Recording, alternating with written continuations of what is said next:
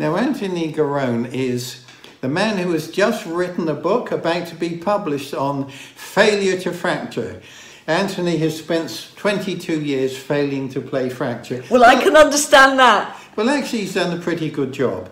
Uh, Anthony's failure is so well achieved in my book it's a success It's 11, it's 11 notes a second. I mean, even you're scared of playing it. terrified well about 10 notes a second level Oh, is that all?